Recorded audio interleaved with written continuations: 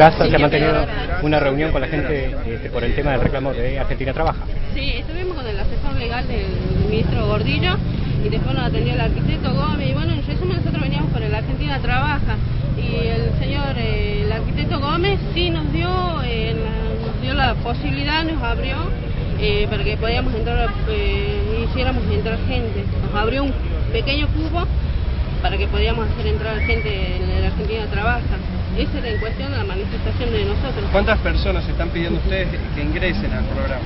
Nosotros teníamos aproximadamente 60 personas. Nos dijo que era mucho menos por la magnitud de la gente que ya se había notado, que eran más de 4.000 personas, y que bueno que había venido la, mm, la gente de Buenos Aires en la entrevista, entonces ellos ya no tenían la facilidad para abrirnos más de lo que eh, la gente de Nación vino. ¿Se dijo a qué tipo de cooperativas estarían ingresando a las personas que les han confirmado?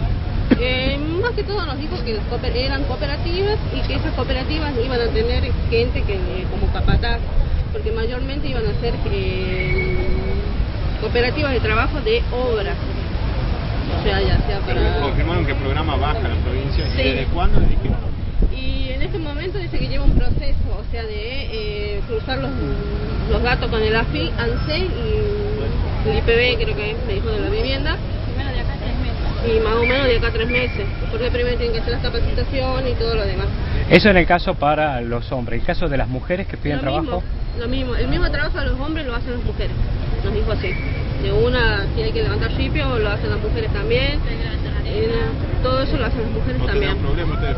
No, no. Se están buscando cualquier salida laboral. Exactamente, estamos en una situación que estamos buscando salida laboral en cualquier... ¿Se ha fijado fecha para una nueva audiencia, seguir, eh, digamos, en Sí. contacto con las autoridades? Sí, sí, nos dijo que mañana nos iba a atender a primera hora de la mañana, que le lleváramos un pequeño listado a la gente, que nos iba a abrir el... ¿Quedaron conformes?